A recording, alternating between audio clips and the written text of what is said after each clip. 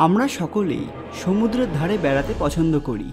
যে কারণে সব পর্যটন কেন্দ্রের মধ্যেই সমুদ্রের প্রতি সকলেরই একটা আলাদা টান থাকে। কিন্তু একবার ভাবুন তো, যদি এই সমুদ্রই প্রাণঘাতী হয়ে যায়, তাহলে কি হবে?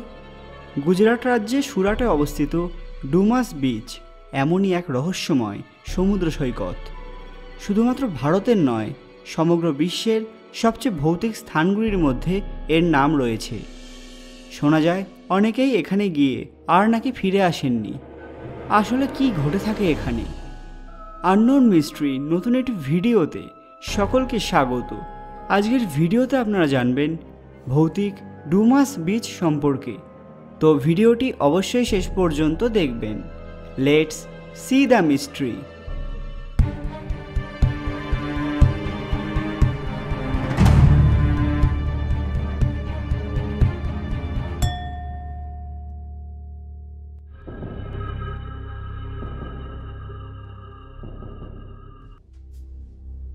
ভূত একটা এমন জিনিস যা অনেক মানুষই বিশ্বাস করতে চান না, কিন্তু তারা সরাসরি অস্বীকারও করতে পারেন না। আর ভৌতিক ঘটনা যে শুধুমাত্র কোনো পুরনো বাড়ি কিংবা বদ্ধ জায়গাতেই ঘটবে, তা কিন্তু নয়। ভিডিওতে এগোনোর আগে আপনি যদি আমাদের চ্যানেলটি এখনও সাবস্ক্রাইব না করে থাকেন, তাহলে এক্ষুনি সাবস্ক্রাইব করে নিন। আমরা প্রতি সপ্তাহে আপনাদের জন্য এরকমই ভৌতিক রহস্যময় ভিডিও এনে থাকি। দক্ষিণ গুজরাটের এক জনপ্রিয় পর্যটন কেন্দ্র হল ডুমাস বিচ। দিনের বেলা এই জায়গাটা যতটাই না সুন্দর লাগে, সন্ধেবেলা এর রূপ কিন্তু অনেকটাই বদলে যায়। ভারতের সবচেয়ে ভৌতিক স্থানগুলির মধ্যে জায়গা করে নিয়েছে এই বিখ্যাত বিচ। কিন্তু কেন? অনেক মানুষই দাবি করেন, এই স্থানে সুপার ন্যাচারাল ক্রিয়াকলাপ হয়ে থাকে। রাতের অন্ধকারে এখানে অনেক ধরনের শব্দ শুনতে পাওয়া যায়। শুধু তাই নয় এখানে অনেক মৃত মানুষের আত্মাকেও দেখতে পাওয়া যায়। যদিও অনেকে এই ঘটনাকে বিশ্বাস করতে চান না। তবে কথিত আছে যে আগে এই বীজ ব্যবহার করা হতো মানুষের মৃতদেহের ছাই পুঁতে ফেলার কাজে, যা বর্তমানে সরকার দ্বারা নিষিদ্ধ। আজও নাকি সেই মৃত মানুষদের আত্মা রাতের বেলা এই সমুদ্র সৈকতে ঘুরে বেড়ায়।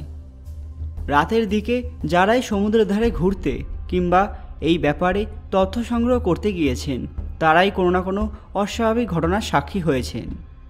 দিনের বেলায় যে জায়গা এতটা সুন্দর, সেই স্থান রাতের অন্ধকারে কীভাবে এতটা ভৌতিক হতে পারে, তা অনেকেরই চিন্তার বাইরে।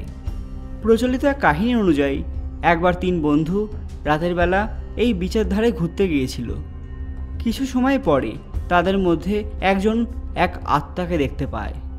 পরবর্তী সময়ে তার উপরে ভর করে সেই অলৌকিক শক্তি। এই ঘটনা দেখে তার দুই বন্ধু অত্যন্ত ভয় পেয়ে যায়। দু একজনের সাহায্য নিয়ে তাকে বেঁধেও ফেলা হয়েছিল। এরপর বেশ কয়েকদিন তার খুব জ্বর ছিল। এখানকার আরও এক ভৌতিক রহস্য হলো সমুদ্রের বালি। এই বালি নাকি রং পরিবর্তন করে। সন্ধ্যার অন্ধকারে এর রং হলুদ থেকে পরিবর্তিত হয়ে কালো হয়ে যায়। কিছুজনের মতে মৃত মানুষের ছাই মিশে গিয়েই এ রং পরিবর্তিত হয়। যদিও অনেকেই বিজ্ঞানের কথা তুলেছেন, তবে এই অলৌকিক ঘটনা পুরোপুরি অস্বীকার করা যায় না। রাত বাড়তেই বিভিন্ন কান্নার শব্দ, হাসির শব্দ অথবা কুকুরের চিৎকার সব মিলিয়ে সমুদ্রের স্বর্গীয় পরিবেশ পরিবর্তিত হয় ভুতুরে পরিবেশে।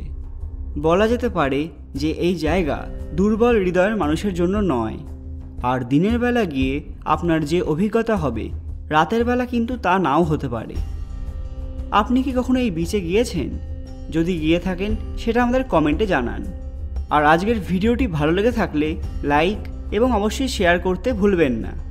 পরবর্তী ভিডিওতে আপনারা কোন ভৌতিক ঘটনা সম্পর্কে জানতে চান, সেটাও আমাদের জানান। ধন্যবাদ।